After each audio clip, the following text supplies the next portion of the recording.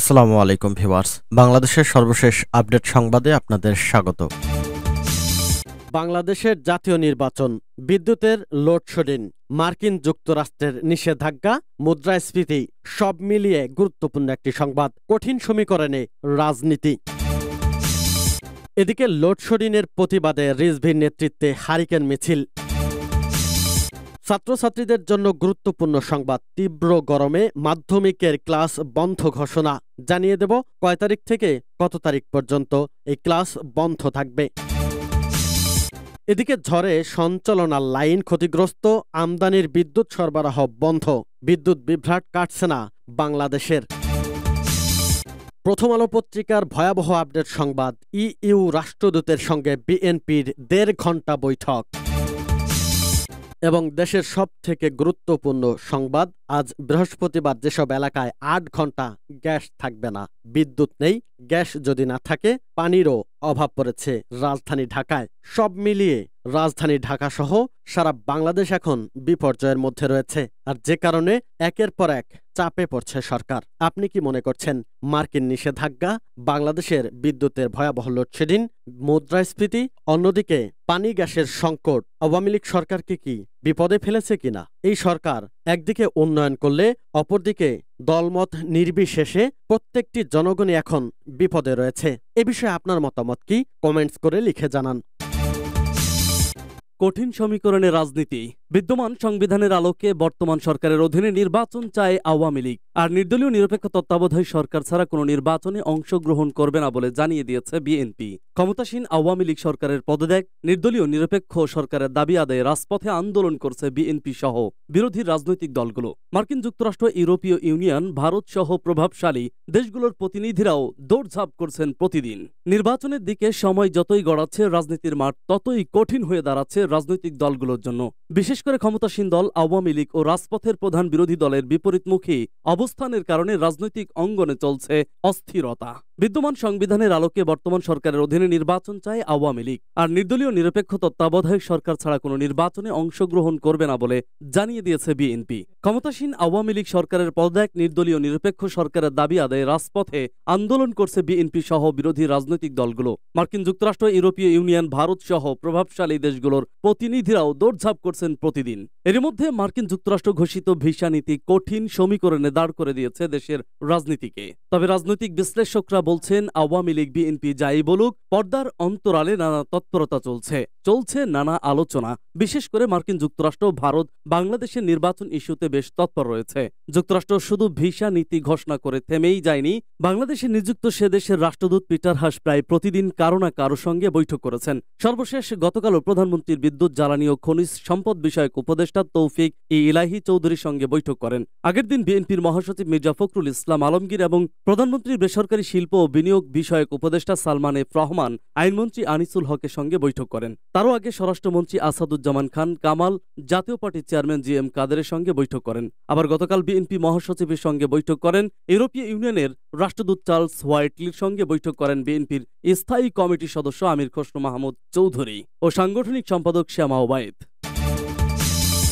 লোডশেডিংয়ের প্রতিবাদে রিজভির নেতৃত্বে হারিকেন মিসেইল দেশব্যাপী অসহনীয় লোডশেডিং ও বিদ্যুৎ খাতে দুর্নীতির প্রতিবাদে রাজধানীতে হারিকেন হাতে নিয়ে প্রতিবাদ মিছিল করেছে বিএনপি অঙ্গ সহযোগী সংগঠনের নেতাকর্মীরা আজ মঙ্গলবার রাত আটটার দিকে নয়াপল্টনস্থ দলের কেন্দ্রীয় কার্যালয়ের সামনে থেকে শুরু হয়ে নাইটিঙ্গেল মোড় ঘুরে ফের নয়াপল্টনের সামনে গিয়ে সংক্ষিপ্ত বক্তব্যের মাধ্যমে শেষ হয় মিছিলটি মিছিলের নেতৃত্ব দেন বিএনপির সিনিয়র যুগ্ম মহাসচিব অ্যাডভোকেট রহুল কবির রেজভি মিছিলে বিএনপি নির্বাহী কমিটির সদস্য আমিরুল ইসলাম জাতীয়তাবাদী স্বেচ্ছাসেবক দলের সহ সভাপতি ডাক্তার জাহিদুল কবির জাহিদ যুবদলের সহ সাধারণ সম্পাদক আলমগীর হাসান সোহান সহ বন ও পরিবেশ বিষয়ক সম্পাদক আমিনুর রহমান আমিন নারায়ণগঞ্জ জেলা যুবদলের সদস্য সচিব মশিউর রহমান রনি জগন্নাথ বিশ্ববিদ্যালয় ছাত্রদলের সভাপতি আসাদুজ্জামান আসলাম সাধারণ সম্পাদক সুজন মোল্লা ঢাকা কলেজের সভাপতি শাহিনুর রহমান শাহিন প্রমুখ উপস্থিত ছিলেন এ সময় লোডশেডিং এর বিরুদ্ধে সরকারের পদায়ক এবং বিএনপি চেয়ারপারসন বেগম খালেদা জিয়ার অবিলম্বে নিঃশর্ত মুক্তির দাবিতে স্লোগান দেন নেতাকর্মীরা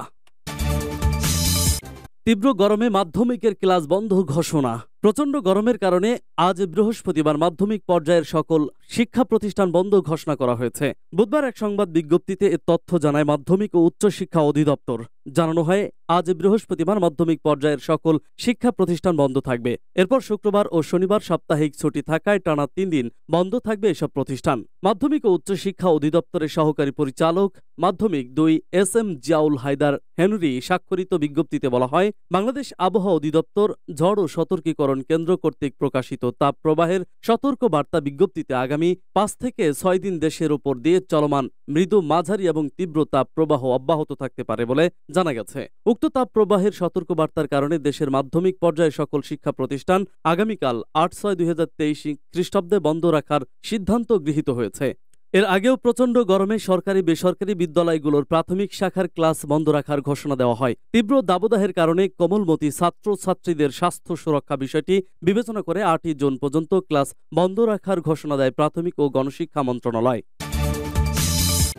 ঝড়ে সঞ্চালন লাইন ক্ষতিগ্রস্ত আদানির বিদ্যুৎ সরবরাহ বন্ধ টানা লোডশেডিংয়ের মধ্যে এবার বন্ধ হয়ে গেল ভারতের ঝাড়খণ্ড থেকে আসা আদানি গ্রুপের বিদ্যুৎ কেন্দ্রের সরবরাহ হঠাৎ আকস্মিক ঝড়ে বিদ্যুৎ সঞ্চালন লাইন ক্ষতিগ্রস্ত হওয়ায় বিদ্যুৎ কেন্দ্রটি তাৎক্ষণিক বন্ধ করে দেওয়া হয় এতে বুধবার বিকেলের দিকে লোডশেডিং অনেক বেড়ে যায় এখন বিদ্যুৎ কেন্দ্রটি আবার চালু করা হচ্ছে মধ্যরাতের পর সেখান থেকে বিদ্যুৎ সরবরাহ শুরু হতে পারে বিদ্যুৎ কেন্দ্র থেকে জাতীয় গ্রিডে বিদ্যুৎ সরবরাহের রাষ্ট্রীয় সংস্থা পাওয়ার গ্রিড কোম্পানি অব বাংলাদেশের দুজন দায়িত্বশীল কর্মকর্তা প্রথম আলোকে তথ্য নিশ্চিত করেছেন তারা বলেছেন আদানির বিদ্যুৎ কেন্দ্র থেকে বাংলাদেশ উদ্দেশ্যে বিদ্যুৎ প্রবেশ করে চাপাই নবাবগঞ্জের রোহনপুর হয়ে বুধবার বেলা পৌনে তিনটার দিকে ঝড়ে রোহনপুরে সঞ্চালন লাইন কিছুটা ক্ষতিগ্রস্ত হয় পরে তা ঠিক করে বিদ্যুৎ কেন্দ্র চালু করতে বলা হয়েছে বড় আকারের এই বিদ্যুৎ কেন্দ্র একবার বন্ধ করা হলে পুনরায় চালু করতে কয়েক ঘন্টা সময় লাগে ইতিমধ্যে এটি চালু করা হয়েছে বলে পিজিসিবি সূত্রে জানা গেছে তবে উৎপাদন শুরু করে বিদ্যুৎ সরবরাহ চালু করতে রাত বারোটা থেকে একটা বেজে যেতে পারে আদানি বিদ্যুৎ কেন্দ্র আটশো মেগাওয়াট করে দুটি ইউনিট আছে প্রথম ইউনিট থেকে গড়ে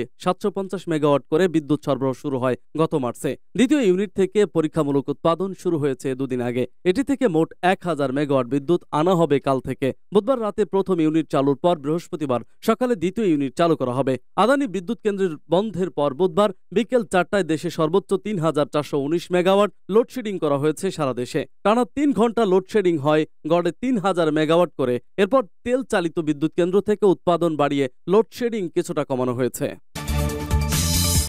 ইউ রাষ্ট্রদূতের সঙ্গে বিএনপির দেড় ঘণ্টা বৈঠক ঢাকায় নিযুক্ত ইউরোপীয় ইউনিয়নের রাষ্ট্রদূত চার্লস হোয়াইটলির সঙ্গে বৈঠক করেছেন বিএনপির স্থায়ী কমিটির সদস্য আমির খসরু মাহমুদ চৌধুরী গতকাল বুধবার গুলশানে ইউ রাষ্ট্রদূতের কার্যালয়ে এ বৈঠক হয় বৈঠকের বিষয়ে আমির খসরু মাহমুদ চৌধুরী প্রথম আলোকে বলেন বাংলাদেশে এখন যা চলছে তারপরও আলোচনা হয়েছে সেখানে রাজনীতিও আছে নির্বাচনও আছে বিএনপি সূত্র জানায় বেলা সাড়ে তিনটা থেকে প্রায় দেড় ঘন্টা বৈঠক চলে এ সময় বিএনপির সাংগঠনিক সম্পাদক শামা ওবায়দ উপস্থিত ছিলেন এর আগে গতকাল মঙ্গলবার যুক্তরাষ্ট্রের রাষ্ট্রদূত পিটার হাসের সঙ্গে তার বাসভবনে বৈঠক করেন বিএনপির মহাসচিব মির্জা ফখরুল ইসলাম আলমগীর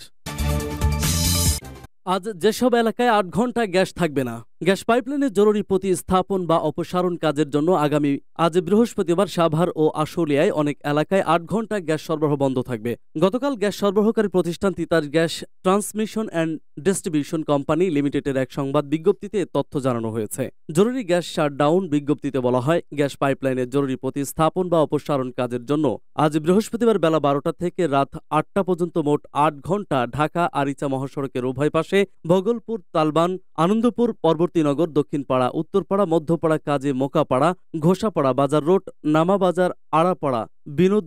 সবুজবাগ বনপুখুর মালঞ্চ বক্তাপুর ভাটপাড়া নয়াবাড়ি জলেশ্বর সোবাহনবাগ মসজিদপুর ইমানদীপুর আইচানোয়দ্দা রাজাসন কমলাপুর কৃষ্ণপুর ধরেন্ড গাসমহল বালিয়ারপুর কোয়ান্ডা নগরকন্ডা আলমনগর জয়নাবাড়ি যাদুচর হেমায়তপুর পূর্বহাটিতে তেঁতুলঝরা হরিণধারা শ্যামপুর বাগবাড়ি ফুলবাড়িয়া নগর শোভাপুর ভরারি রাজাঘাট পানাপাড়া ব্যাংডাউন ব্যাংকলোনি গেন্ডা নামাগেন্ডা ওলাইল কর্ণপাড়া কাতলাপুর দক্ষিণ দরিয়ারপুর ও জিরোবা আমতলা কাঠগড়া এলাকার গ্রাহকের গ্যাস সরবরাহ বন্ধ থাকবে এছাড়া উক্ত সময়ে আশপাশের এলাকায় গ্যাসের স্বল্প চাপ বিরাজ করতে পারে গ্রাহকদের সাময়িক অসুবিধার জন্য বিজ্ঞপ্তিতে তিতাস গ্যাস কর্তৃপক্ষ আন্তরিক দুঃখ প্রকাশ করেছে